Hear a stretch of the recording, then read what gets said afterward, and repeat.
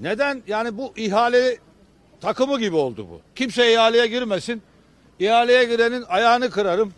Seni tehdit ederim. Böyle bir şey yok. Ben demokratik hakkımı kullanıyorum. Siz adayınıza güvenmiyor musunuz da bana aday olamazsın diye bağırıyorsunuz. Ben demokratik hakkımı kullanıyorum. Bak insanlar on binler evlerinden çıkıyor, sandık kuruluna geliyor, seçim kuruluna geliyor, imza atıyor. Bırakın insanlar yarışsın. Biz Türkiye'nin önünü tıkayacak bir şey yapmayız. Demokratik hakkımız bu.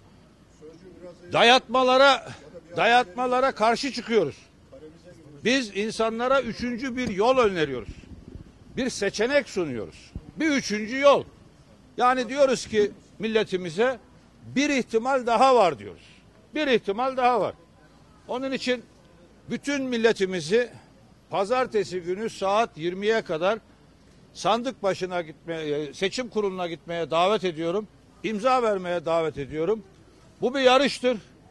Büyük ihtimal birinci turda bitmeyecek bir yarıştır. İkinci turda hep birlikte gereğini yapacağız. Bu iktidardan kurtulacağız. Hepinize çok teşekkür ediyorum. Sağ olun. Efendim Efendim emekli